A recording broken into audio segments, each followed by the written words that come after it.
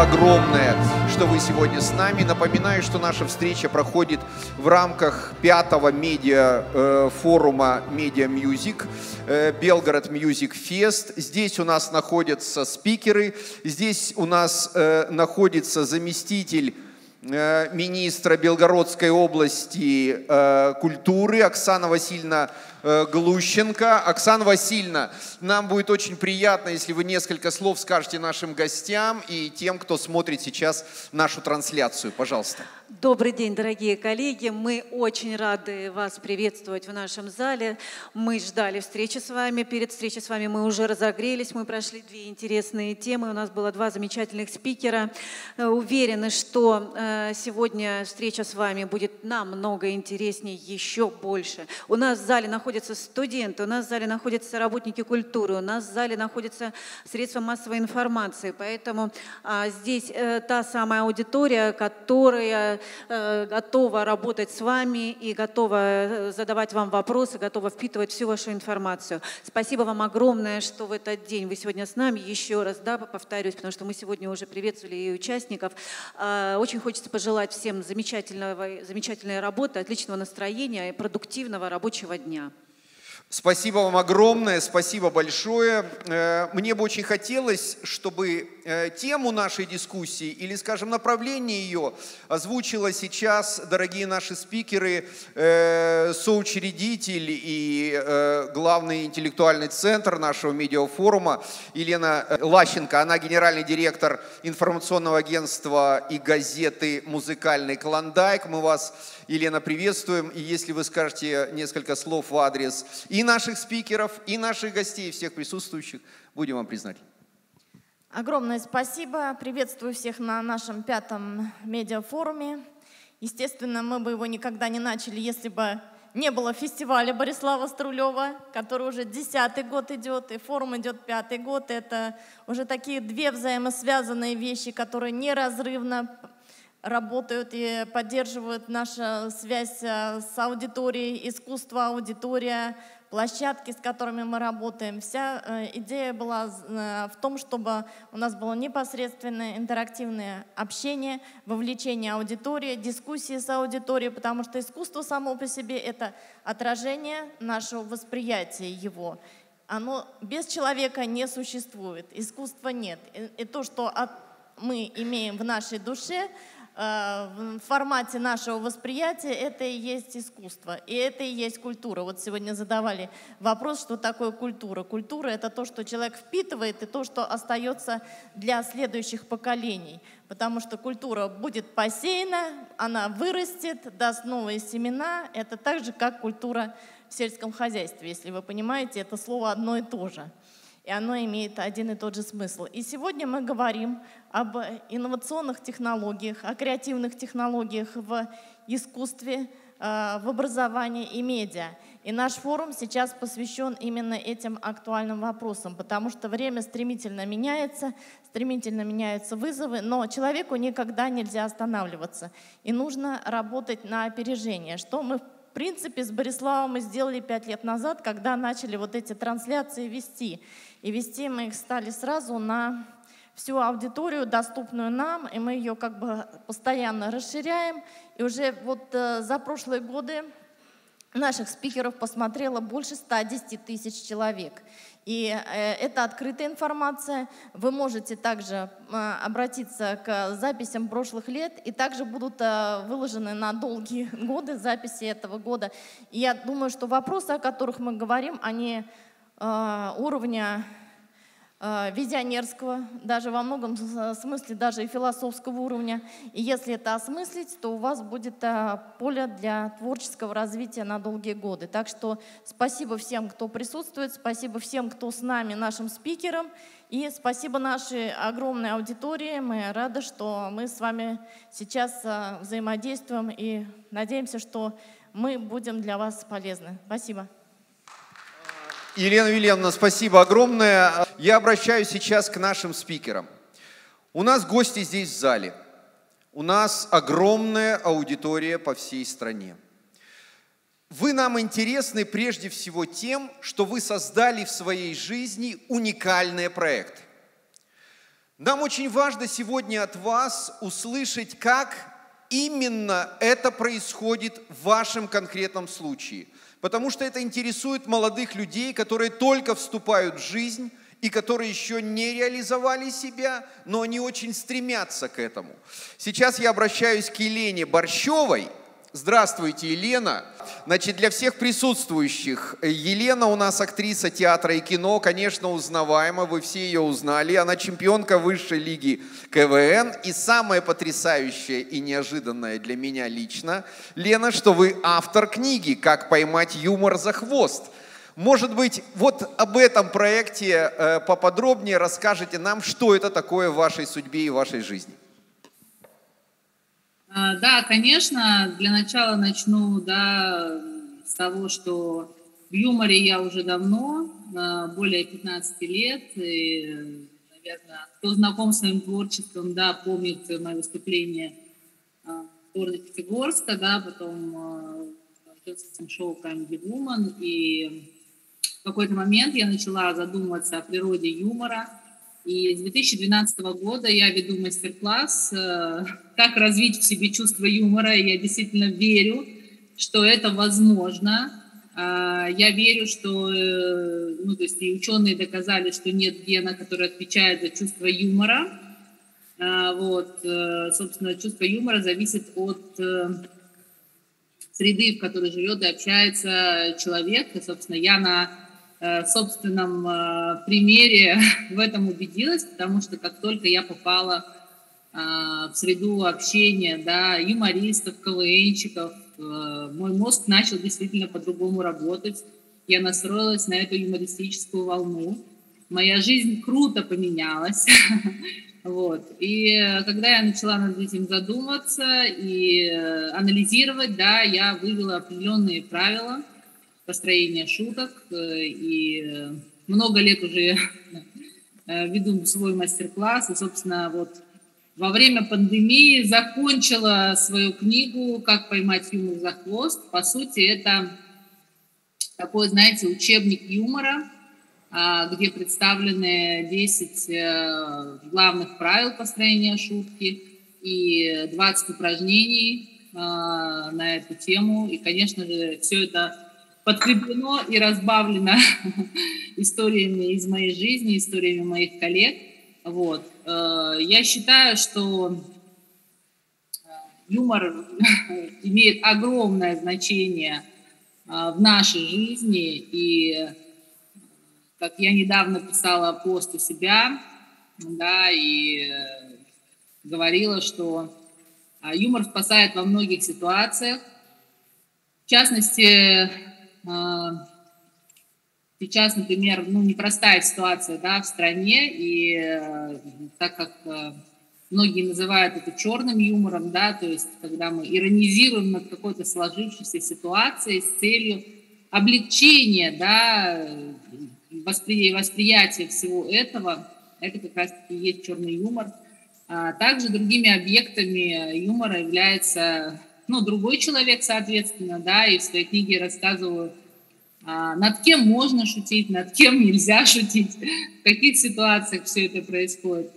А, и, конечно же, так как э, самое главное наше а, сокровище и наша миссия, да, а, людей просвещения, это воспитание нового поколения, очень важно а, передавать этот опыт и молодежи, новым поколениям, потому что э, у меня тоже часто спрашивают там, э, как э, научить детей, да, вот легче к этому относиться, не расстраиваться, если там над ними кто-то пошутил, как реагировать на это.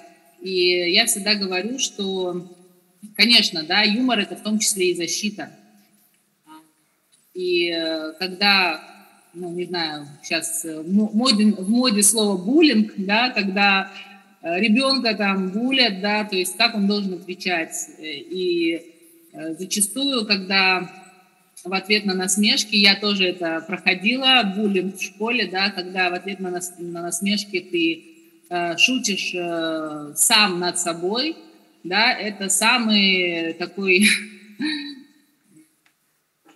правильная, да, самая правильная реакция, которая обезоруживает э, нападающих. И, конечно, я ну, несу эти знания, и у меня также несколько детских да, проектов для детей. То есть у меня команда КВН а, тоже называется «Как развить себе чувство юмора», которая принимала участие в телевизионных проектах на, программ... на канале «Карусель», на канале СТС, а, призеры международного фестиваля в Артеке. А, также у меня школа актерского мастерства, которой тоже мы развиваем и э, эти направления, в том числе и КВН, и стендап для подростков, потому что ну, стендап это в основном, когда ты шутишь как раз-таки над собой, над своими проблемами. И э, он имеет еще такой терапевтический эффект, на самом деле, позволяет справиться со своими комплексами. Ведь когда мы начинаем говорить о своих комплексах, о своих проблемах, э, нам сразу становится легче, да. И кажется, что это уже не такая проблема. И кажется, что это не такой и комплекс. Вот, то есть э, мы смотрим на это со стороны, и действительно нам становится легче, нам становится лучше. Поэтому я считаю, что ну, это моя миссия нести да, э, улыбки, юмор и в том числе знания да, о юморе массы, прежде всего э, молодому поколению. И, возможно, я вот э, э знакома с Бориславом Струлевым, мы дружим, и а, возможно, получится сделать действительно какую-то коллаборацию, какой-то совместный проект а, на будущее в этой сфере. А если позволите, э, Лен, один вопрос. Эм, о вашей книге. Вот это важно для ребят, которые начинают в жизни собственные проекты. Вот вы решили написать книгу – вы же, естественно, не альтруистка, вы думали о том, чтобы эту книгу как можно большее количество людей прочитали, увидели, купили. Думали ли вы о том, что ваша популярность как актрисы, как игрока КВН может повлиять на реализацию вашего проекта? Или нет? Только честно.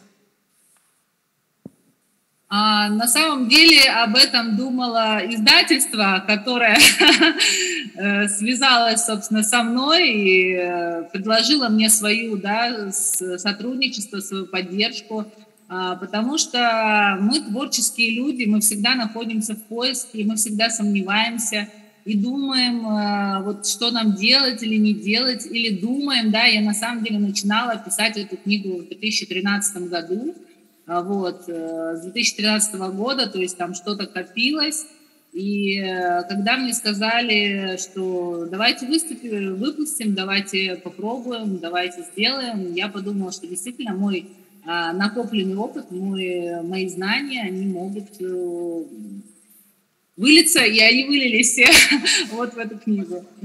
А, спасибо вам огромное, Лен, спасибо. Мы желаем вам удачи, мы желаем вам улыбаться всегда, дарить нам хорошее настроение и успехов вам во всех проектах. А мы всматриваемся в пытливое, немножко настороженное лицо очень известного в кругах кинематографа человека. А Андрей Богатырев, друг нашего фестиваля, продюсер и режиссер. Сегодня вечером, Андрей, мы будем смотреть э, фильм Э, здесь вашу, вашего красного призрака, и люди спрашивают, интересуются. Э, мы жалеем, что вы не смогли прийти, мы желаем вам здоровья, всего самого доброго. Вопрос у нас вот какой к вам. Вы человек молодой, современный и успешный, реализующий проекты, большие проекты в области кино. Скажите, пожалуйста, как сегодня удается это делать? благодаря чему? Вот зарождение идеи, с написания сценария, с нахождения денег на это. Как сегодня реализовать талантливому кинематографисту свой проект? Мы рады вам, приветствуем вас и слушаем вас внимательно. Добрый день. Э, очень рад, что могу у вас, так скажем, выступить, пообщаться и Извиняюсь, не смог приехать к сожалению, заболел, вот сейчас сижу дома, вот э, э, у нас, знаете, и чума, и, и все на нас навалилось сейчас, как говорится. Но э, все равно это, как говорится, вот э, я забегая немножко назад, я э, попал в ваше, ваше обсуждение чуть ранее, и как раз вы задавали вопрос про то, как можно снимать современно концерты, и что у нас только Первый канал это умеет делать.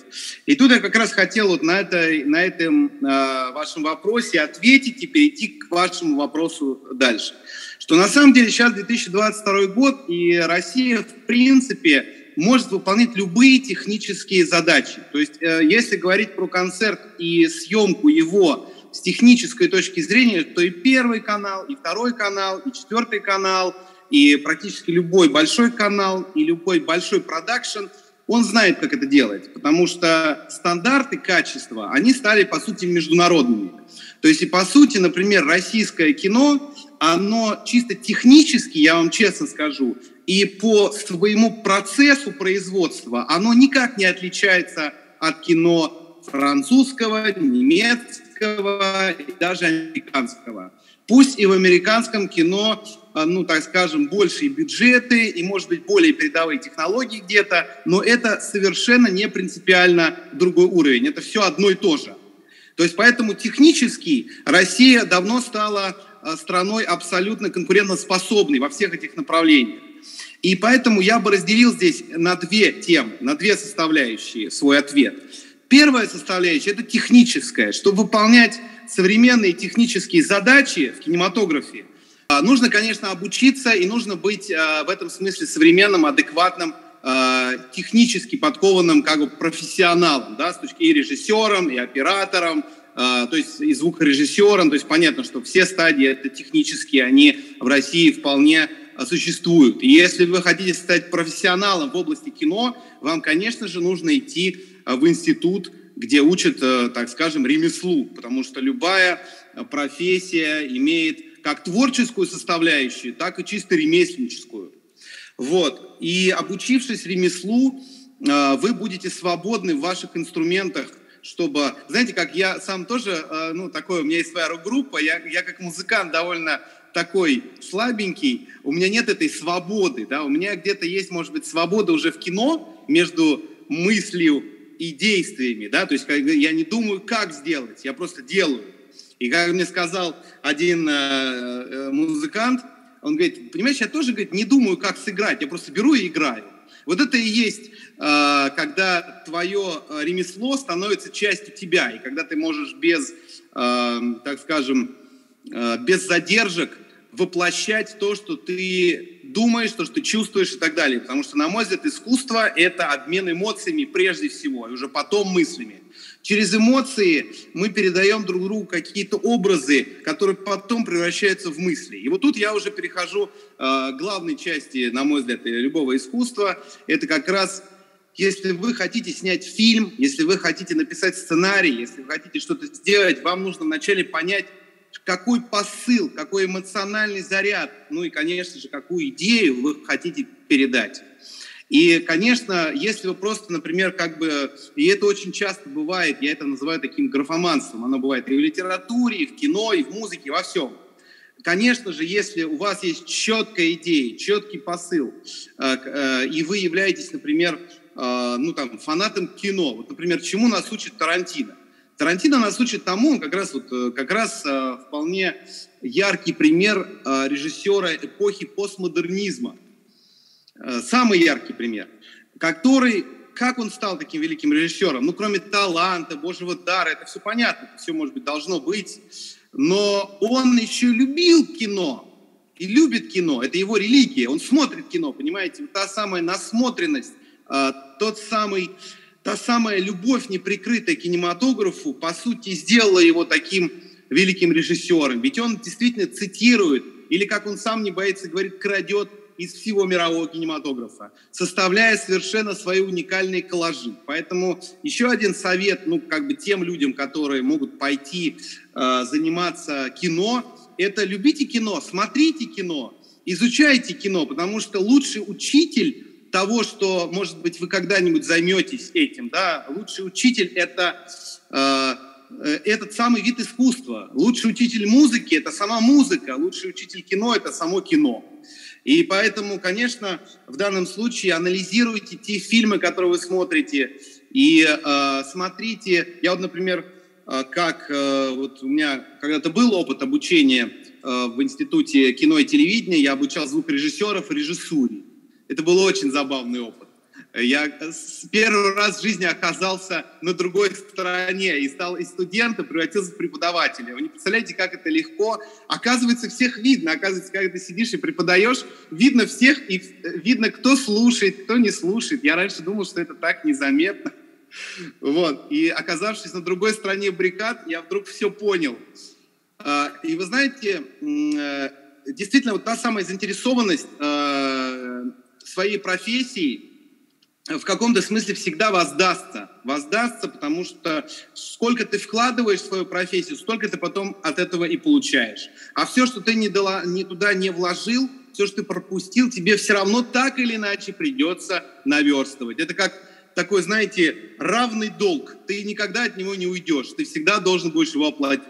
Поэтому э, тут я как бы пока вот э, остаюсь в таких общих э, моментах и хочу сказать, что Э, обязательно, если вы пока думаете, заниматься вам кино или нет, да, то есть выбираете для себя путь, э, то обязательно попробуйте, может быть, снять какой-то эпизод какого-то фильма, точную копию, посмотреть, э, как это технологически работает. Попробуйте почитать труды наших великих кинематографистов, которых действительно очень много, потому что Советский Союз стоял когда-то на заре э, кинематографа как вида искусства. И э, Эйзенштейн, например, это, ну, по, по сути, его книга «Монтаж» является, по сути, библией кинематографа. Пудовкин, э, Кулешов, э, Дзига Вертов – это все настоящие такие боги, древнегреческие боги э, кино. Ну, я уж не говорю о Тарковском, Германии там, и, да и многих других режиссеров, которые действительно стали не только советскими э, звездами кино, но и мировыми. И я считаю, что феномен советского кино – это как бы, ну, это один из самых ярких кинематографов мира, за которым я, например, испытываю гордость. Поэтому э, в этом смысле слова, да, спасибо. Э, смотрите кино, и если есть какие-то вопросы, с удовольствием на них отвечу э, по поводу нашей картины или по поводу кино, э, которое сейчас делается в России. Андрей, спасибо огромное. И я хочу сказать, что у меня не вопрос, скорее, может быть, реплика. Действительно, вы правы, потому что прежде чем что-то креативно создать, человек должен эту информацию себе присвоить. Не говорю слово «украсть», но на самом деле вы можете транслировать только то, что стало истинно вашим. И если вы будете транслировать то, что не ваше, то это всегда будет видно, как вот Андрей говорит, как э, видит преподаватель студента. Ложь не пройдет. Сейчас очень э, четко нужно понимать, что э, такие же ваши там ровесники, зрители, аудитория, они это очень четко и тонко чувствуют. На уровне вот э, подсознания сразу это отвергается. И я хочу сказать Андрею еще огромное спасибо за то, что он а, присутствует на форуме. И э, небольшой такой секрет, мы в первый раз а, музыкальный клондайк встретился с Андреем еще в декабре месяце или даже в конце ноября, да, когда у нас было интервью по поводу очень интересного тоже проекта, который Андрей создал, это «Ключи от Карелии». Это фильм, посвященный традиционному искусству Карелии. И э, я благодарю вас за то, что вы так э, многообразно вообще говорите о культуре России, об истории России. Это огромный ваш вклад. Я очень вам признательна. Ну да, могу, могу только дополнить несколько слов, что абсолютно с вами согласен. Есть даже в актерском мастерстве такое понятие, как присвоение текста, потому что если ты не присвоил своей психике, своей личности текст, то не можешь его должно говорить, да, то есть поэтому обязательно оборганичивайте текст под себя. И я считаю, что действительно мы обладатели великой культуры во всех смыслах этого слова, и поэтому э, протягивать культурную традицию от советского кино, от, э, то есть это на самом деле это очень хорошая э, тема, и безусловно мы можем учиться от советского, от мирового кино, поэтому дерзайте, э, смелее, как говорится, действуйте, и вам воздастся. А, Андрей, если позволите, у нас очень динамично идет дискуссия, и мы должны перейти к следующему нашему спикеру. У меня, если возможно, очень короткий вопрос с очень коротким, но на самом деле очень некоротким по смыслу ответом. Здесь молодые люди находятся. Мы говорим о проектах, об идеях. Вы рассказали сейчас о кино, о вашем представлении. Но еще один важный аспект. Кино делается командой. Вот если можно, минута, несколько слов, как вы лично подходите к этому аспекту своей профессии, как вы создаете команду, то есть сообщество единомышленников для реализации своей идеи. Ну, вы знаете, тут я отвечу немножко, наверное, странно. Ну, все по внутреннему ощущению. Это как рок-группу сколотить. Когда ты чувствуешь, что человек твой, и не только по профессиональным качествам, но по человеческим. Все-таки у нас своя специфика работы. Я считаю, что она немножко отличается, может быть, от западной тем, что мы, может быть, более, ну, ну, более по-душевному, так скажем, складываем какие-то свои группы. Вот у меня есть своя группа, с которой мы делали «Красный призрак», с которой мы потом делали «Легенду о самбо». И отчасти э, э, вот, э, «Ключи от Карелии» тоже, это тоже как бы мы вначале соединились с нашими, так скажем, э, ну, извиняюсь за пафос, душами, да, и потом ее делали. Поэтому это процесс индивидуального характера, поэтому сложно о нем сказать, но в, в культуре советского кино все-таки во главе стоит режиссер. К сожалению, сейчас э, ну, есть тенденция продюсерского кино, э, где продюсер все решает. Но, на мой взгляд, и тут я, честно сказать, пользуюсь случаем, каждый раз пытаясь этому немножко противостоять, я против этого. Потому что продюсер иногда не имеет специального образования кинематографического, иногда всех не понимает всех эм, как бы составляющих. Режиссер все-таки часто это профессионал, и все-таки все идет вокруг него. И режиссеру очень важно создать правильную атмосферу для свободного творчества всех участников, потому что и композитор – это индивидуальная творческая личность, и оператор-постановщик, и художник-постановщик. И режиссеру очень важно объединить их вокруг какой-то своей идеи и дать одновременно и свободу, и вектор направления, Спасибо. чтобы они стали соучастниками его творческого процесса. Огромное спасибо, Андрей, дорогой. Э, выздоровления вам. Сегодня смотрим спасибо э, огромное. ваш фильм. Э, Борислав вам расскажет о впечатлениях наших зрителей. Подписываюсь под каждым вашим словом, не согласен с вами только в одном, что переозвучили мою последнюю реплику в фильме «Дикая лига». Но это уже как бы просто по скриптум. Мы желаем вам удачи, успехов. Переходим к нашему следующему спикеру. Потрясающий, ребята, интересный человек. Потрясающий интересный. Его зовут Влад Маленко. Он директор Есенин центра и директор Филатов Фест актер и поэт, большой друг Борислава Струлева, нашего фестиваля. Они вместе делали проект э, в театре Натаганка. Вот. Человек уникальный и, и, и мыслящий, и интересный, и продуктивный. Я замолкаю. Влад, только единственное, я хочу спросить вас в самом начале. Можно я вас немножко собью сейчас? А я, э, я лечу в воздухе, меня невозможно сбить или не сбить. Вот, вот, поэтому, знаете что, давайте начнем вот с чего. Дорогой Влад, почитайте нам немножко, хотя бы одно, свое произведение, свое поэтическое, свой поэтический вирш. Поднимите нас над нашей реальностью сегодня, унесите нас немножко в Поднебесье благодаря своему таланту. Друзья мои, ну, э, вы понимаете, вы находитесь на Белгородской земле чудесной, само название белого города. Я, в принципе, я просто буду говорить стихами и поднимать вас. Вот чтобы я не сказал, вы учтите, что это, это стихи. А, когда-то я появился в Белгороде, увидел а, такую надпись а, э, «Территория, свободная от сквернословия». Мне это очень понравилось. Ее читали молодые люди, я ее тоже прочел. О чем я говорю? От частного сейчас к общему.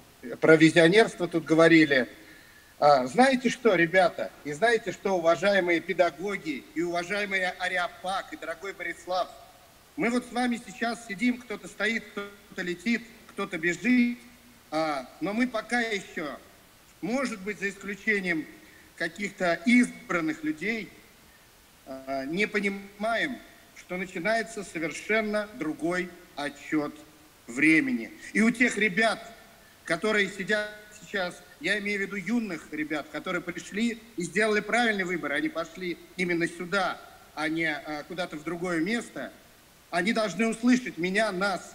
С, с этой весны начинается совершенно новый отчет русского, российского времени. И он в том числе дает невероятный шанс каждому из тех, кто сегодня слушает на, наш эфир. Почему я начал с надписи э, Белгородской? Потому что Белгород – это тот э, гений места, то гений, э, тот гений места, с которого может стартовать э, целый сон русских смыслов, который принесет, э, принесет потом миру облегчение, Европе, миру, нашей стране.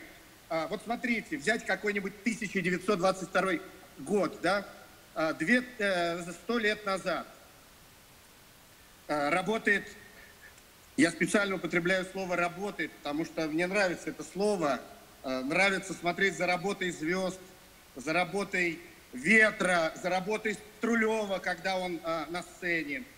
Работает Станиславский, работает Маяковский, работает Марина Цветаева, Есенин, Родченко, Малевич. Это все очень разные русские люди. Но при этом они, вот поверьте, им не было а, проще и легче, э, чем сейчас нам, но теперь их знает весь мир, и весь мир тащит от них, учится у них а, мастерству и, собственно, тому, что называется искусство. А, поэтому всем вам, всем нам а, слово от поэтов. Мы, а, собственно говоря, цех поэтов, и слово, а русское слово всегда было первично. Раз уж вы попросили, я вам прочту вот такой вот, вот такие несколько своих строк, посвященных каждому из тех, кто сейчас находится и на сцене, и в зале, и на земле нашей российской. Дионисий писал нас по мокрому потолку, забывая себя, будто тетерев на таку. У него была группа краски, вторая плюс, и от вечного сквозняка то ячмень, то флюс. А летать нас учили алушей и козадой, выбирая поток между яблоней и звездой, там, где дождь, от которого не было ОРЗ, на шагаловой скрипке весь вечер играл козе. Мы к запястьям берез прислоняли надрезы ртов. Из воды в полный рост перед нами вставал Ростов. Царь Горох повелел во всех бедах себя винить, предлагая за шелк Китая свою финифт. Дело к свадьбе теперь. Мы идем за вином в лабаз, чтобы небо с землей поженились на этот раз, чтобы дождь их венчал, чтобы ветер качал кровать, чтобы землю смогли по обычаю своровать, а потом возвратить без болезней, смертей и войн, но с таким же узором летящих на камни волн, наклонившимся к дому реч... Э, с наклонившимся к речке домом, при свете том, на котором и мама, и папа опять вдвоем.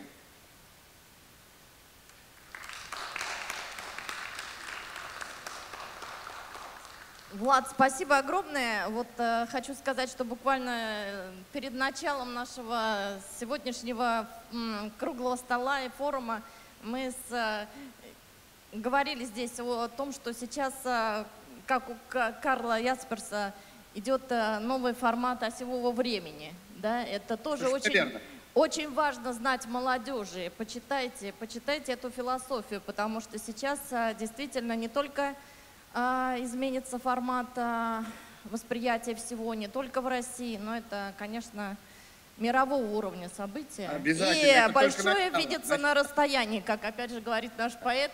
Это нельзя сейчас изнутри воздушного шара оценить его объем а, нахождения во всем мировом пространстве. Мы э, смотрим изнутри событий. События такого масштаба оцениваются во времени и благодаря только философскому уровню мысли можно э, отследить, э, блажен, как блажен, кто да. посетил, блажен, кто посетил сей мир в его минуты роковые. К сожалению или к счастью, но это относится к каждому из нас и к нашему сердцу сегодня. Дорогой Влад, быстрый вопрос технический. Скажи, пожалуйста, как эм, Черноземье и вообще Белгородчина может точно получать информацию и поэты, чтобы могли участвовать в твоем Филатов Фест конкурсе, куда обращаться, куда писать, как, как присылать стихи, какой отбор, тематика. Что будет в этом году? В двух словах.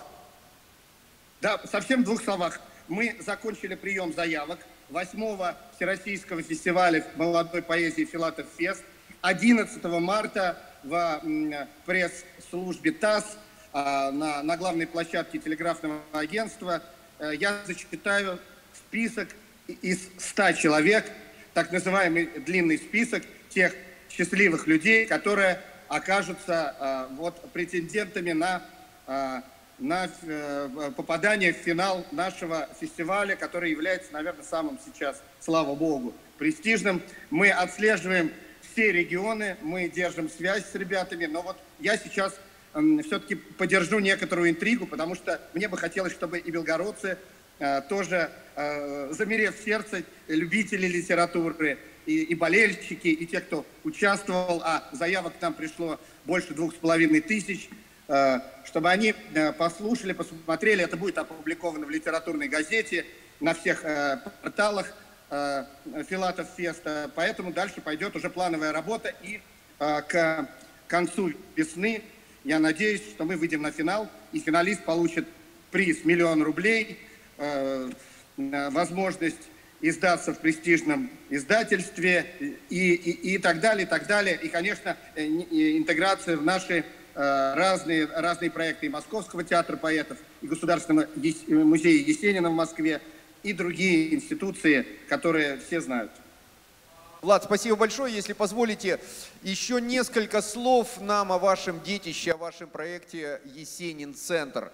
Э, что это такое, как он создавался, ради чего существует? Ну, скорее, э, Есенин-центр – это лаборатория молодой поэзии, э, не только московская, но и всероссийская. Мы милости просим, у нас открыты двери для ребят из всех регионов. Вот э, в том же Филатов Фесте сейчас пришли письма из Бразилии, Аргентины, из Израиля, из Соединенных Штатов, из Германии и так далее, из Индии даже, из Индии. Вот, поэтому Есенин-центр – это такая современная площадка – где э, молодого человека, или не очень молодого, пожалуйста, но э, человека, который живет поэзией, а человек, который живет поэзией, это человек, который слышит время, слышит время, Иногда, правда, людям кажется, что они живут поэзией и слышат время, и таких людей очень много, но вот у нас жесткие фильтры стоят и в Филатов Фесте, и в Весеннем центре. Тут вот как раз в дело, в дело идет та самая насмотренность, начитанность. А, и когда мы видим совершенно молодого человека, который не поленился а, познакомиться с такими титанами, как древние греки, Александр Пушкин, Иосиф Бродский, Михаил Лермонтов – а, тогда сразу понимаешь, что это человек неравнодушный. А тут еще, оказывается, у него свой талант от папы с мамой, и от бабушки с дедушкой, и от э, родника в Белгородской области. И тогда получается вот такой человек, которому мы сразу же э, э, приделываем к ногам пружины, извините за метафору, Ой. чтобы он не ходил, а так подпрыгивал, знаете, чтобы его было видно всем. И поэтому мы, это, конечно, такой поэтический социальный лифт, для того, чтобы посадить туда группу молодых людей, нажать кнопочку, а, чтобы они оказались на крыше, и с крыши читали людям свои стихи, но не падали оттуда. Влад, э, вы, вы гениален, конечно. Вы большая умница. Вот эта энергия, которую вы излучаете, это, конечно, дорогого стоит. Я очень надеюсь, что воочию мы сможем пообщаться, увидеться. Вы приедете к нам э, на фестиваль, почитаете свои потрясающие стихи, постоите в луче э, света на сцене на большой. Мы вам поаплодируем. Очень хочется, э, очень хочется вместе с Бориславом продолжить наш проект «Басни Чела». Обязательно. Обяза- обязательно. Очень э, вас Это любим. будет счастье. Мы, люб- мы любим вас. Берегите да, себя. Тем, что, да. Коротко, если только... Вам большой поклон, Белгородской земле большой поклон. А, кстати говоря, мы, мы очень скоро будем у вас. Там надо будет выступить перед э, людьми, которым сейчас не очень легко. Да. Спасибо большое. Хорошо. Здоровья вам, сил, самое главное, и энергии. Благодарю вас. Всем, кто смотрит нас сейчас в прямом эфире, и всем присутствующим хочу сказать, что помимо сейчас вот этого эфира, который происходит у нас здесь за круглым столом в вашем присутствии, на протяжении двух дней на платформе музыкального клондайка, Елена, если я правильно понимаю, будут очень подробные выступления профессионалов в разных областях культуры и искусства. В 17 часов сегодня Александр Семин, продюсер, консультант по стратегическому креативу. Ребята, это очень интересно. В 19.00 Георгий Исаакян, директор и художественный руководитель фестиваля музыкальных театров. Это потрясающе. Театр САЦ, ГИТИС. В 21 час Александр Рыжинский, профессор, ребята, ректор Института Академии имени Гнесиных. Очень интересно. Завтра потрясающий Ким Брейдбург в 11 часов, композитор и музыкальный продюсер. В 13.00 из Германии, я правильно понимаю, э, Борислав Борисович, записал Сергей Дрезнин, потрясающий, талантливейший музыкант, пианист, создатель цифровой энциклопедии фортепианного исполнительского искусства Берлина – удивительный человек, интеллектуал, умница. Он был не раз у нас на фестивалях. Завтра подробное его сообщение, подробный доклад. В 13 часов, ребят, смотрите, не пожалеете. Андрей Богатырев, которому мы бесконечно благодарны за сегодняшний выход к нам в прямой эфир. Завтра в 15.00 Э, актер, режиссер фильм «Красный призрак». В 17.00 тоже «Счастье», человек, который сейчас уже с нами на связи. Интереснейшая личность, продюсер, почетный деятель искусств Владимир Юрковский. Он из города Сыктывкар. Что еще интереснее, не все столицам говорить, должны и регионы говорить и о креативе, и о культуре. В 19.00 Ольга Гепгард, продюсер, руководитель продюсерского агентства Гепарт Production, заместитель художественного руководителя театра Терезы Дурова. Ребята, потрясающий театр, один из лучших театров э, в Москве, на самом деле, потому что только они ставят музы, э, мюзиклы для детей и мюзиклы, этно-мюзиклы разных стран мира. И, наконец, в 21.00 Влад Маленко, вот этот удивительно энергичный человек, который был с нами, потрясающий директор Есенин-центра, директор Филатов Фест, актер и поэт. Э, ребята, наберемся терпения, не так много осталось, да и гость у нас очень интересный, сейчас с нами на связи из города Сыктывкар, руководитель департамента культуры, продюсер, почетный деятель искусств Владимир Юрковский. Владимир, добрый день, мы рады приветствовать вас, зал вам аплодирует. Здравствуйте, здравствуйте, коллеги. А, значит, вот посмотрите, сегодня мы говорим, Владимир, вот о чем. Мы говорим о том, а, какие могут быть в нынешних условиях креативные разработки в искусстве, образовании и медиа. Э, нам очень интересно, вы из Сыктывкара, из региона, как удается вам там креативить, простите, как вам удается работать над проектами, создавать что-то творческое, как вам удается их реализовывать и конкретно что удается. Еще раз здравствуйте и вам слово, пожалуйста. Да, я действительно сейчас нахожусь э, в Сыктывкаре, Республика Коми. Э, я руковожу отраслью культуры столицы города, столицы республики.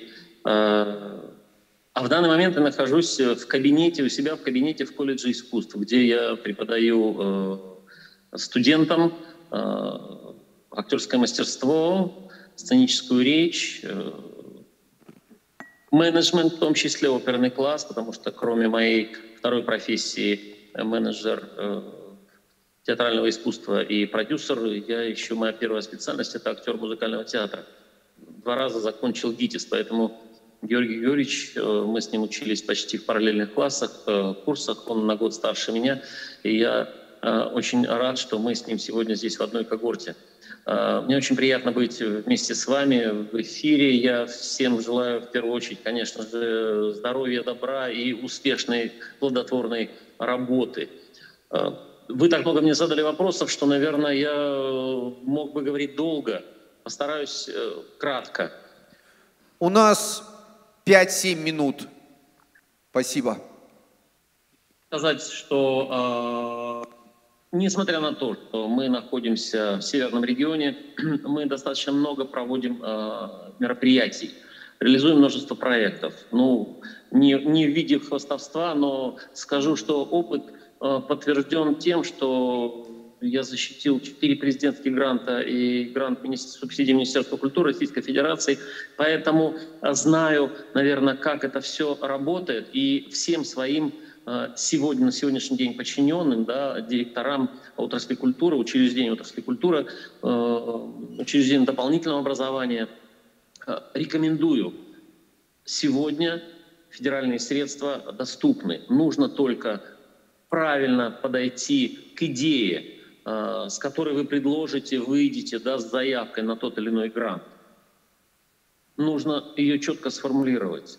Э, правильно заполнить заявку и не бояться, ведь очень часто те же наши э, работники отрасли культуры, да, я о них говорю, да и не только, боятся, знаете что, даже не столько заполнить заявку, сколько боятся отчетности – Наверное, этого не нужно делать, потому что нужно пробовать. Здесь собрались люди, которые занимаются э, проектами много-много-много лет. И я уверен, что без пробы ошибок не получилось бы у нас с вами результата. Э, результат в Республике Коми – это, ну, в первую очередь, я с 98 -го года являюсь продюсером международного конкурса юных вокалистов на приз Ольги Сосновской. Ну, надеюсь, что многие из присутствующих и слушателей знают про этот конкурс – конкурс академического вокала среди детей и подростков. Э, и этот конкурс сегодня э, знают в России и за рубежом. Это результат э, многолетней плодотворной работы. Я не сторонник, я не сторонник разовых проектов. Мне кажется, чтобы достичь того или иного результата, и в том числе в победе в конкурсах, нужно э, создавать проекты, э, которые будут иметь некую перспективу развития. Потому что сразу получить стопроцентный результат как эффект, да, мне кажется, будет сложно любому проекту. Ведь даже то, что вы сегодня делаете, да, коллеги, э, это не задумка сегодняшнего дня. Мы все к этому идем. И только тогда получается результат, и только тогда мы можем дальше развиваться, когда мы видим, на каком этапе, какие шаги мы делаем. Ну, это если говорить о какой-то проектной деятельности, конкретно вот мой взгляд на это. А, федеральные средства сегодня, а, на сегодняшний день а, в достаточной мере позволяют реализовать от малых до крупных проектов. Для того, чтобы быть креативным, да, вот о чем вы задаете вопрос.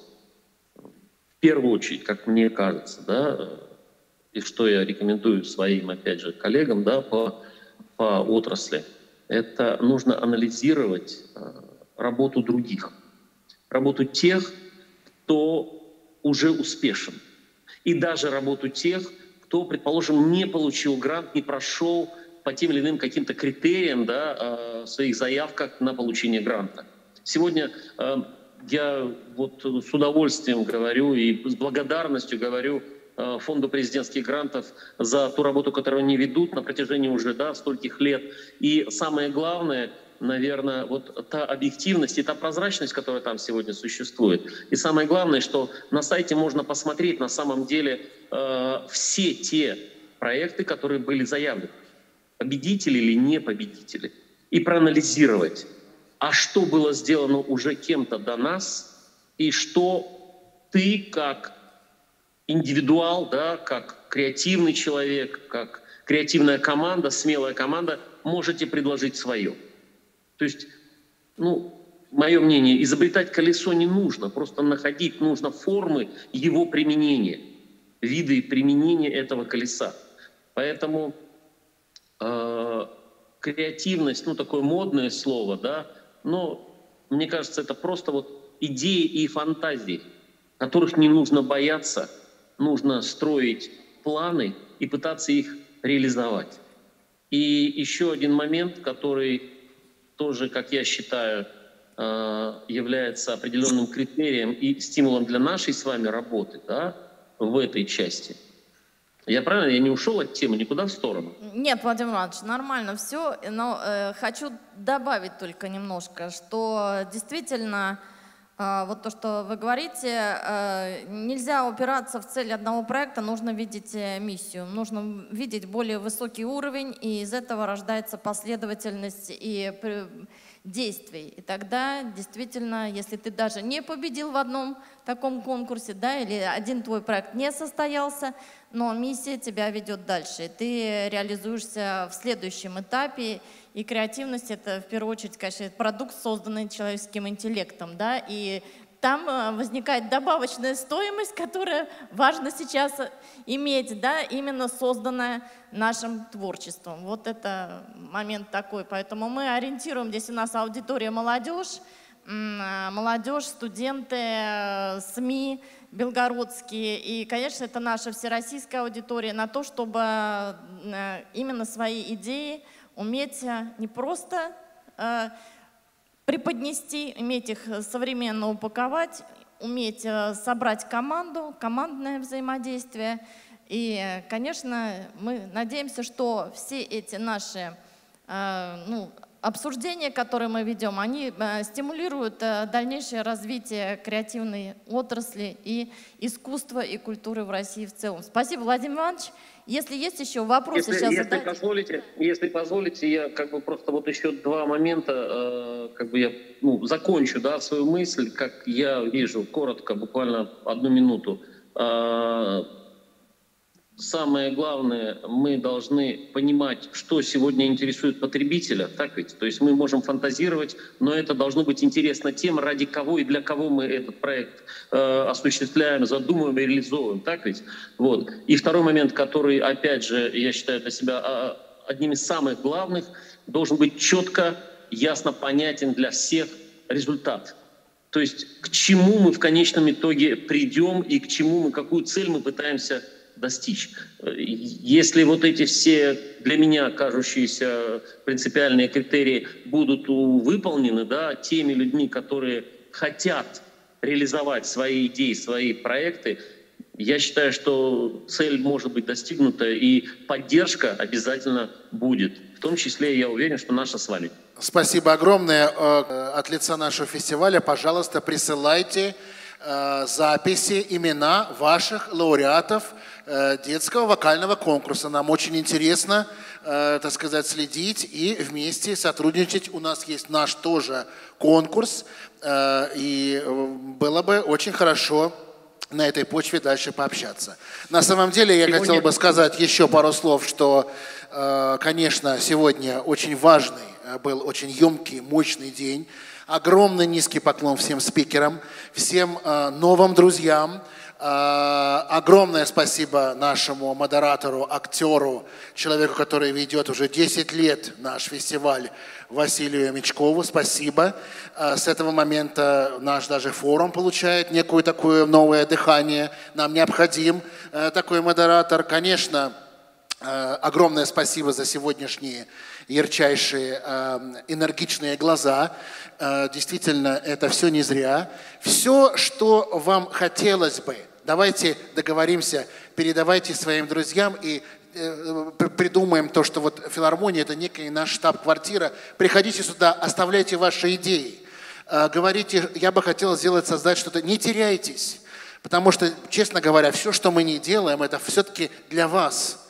И э, мы не для того, чтобы раз в год собираться и, и расставаться. Мы должны иметь абсолютную э, ежедневную некую связь. Благодаря медийным порталам, благодаря нашим сотрудникам, благодаря э, университетам, благодаря фестивалю, благодаря кураторам, благодаря всем тем, кто участвует в этой большой, огромной системе по улучшению культурного быта души. И, конечно, рэп, и, конечно, тикток, и, конечно, Моцарт, и, конечно, Бах, и, конечно, орган, и, конечно, виолончель, и театр, и опера, и балет, брейк-данс – джаз, все это, если правильно, красиво сделать, сочинить, исполнить, снять, подать, это и есть то, что называется культурная жизнь. Спасибо. А, и еще мы, конечно, вам желаем будущности. Мы вам желаем свободы. Мы вам желаем того, чтобы чувствовали вы себя людьми, которые могут создавать независимо от того, что происходит вокруг вас. Главное, что происходит внутри. Мы готовы вам в этом помочь. Я даже подумал сейчас, может быть, не только в филармонию, может быть, на платформе нашего сайта Белград Music Fest, организовать некую обратную связь, чтобы вы могли присылать свои идеи, свои пожелания. Может быть, создать некое новое начинание вообще в рамках фестиваля «Молодежь современная и мы». Понимаете, очень важно, чтобы вы были услышаны, и мы хотим, чтобы вы были услышаны со всеми своими идеями, самыми бесшабашными, потому что на самом деле творит молодость.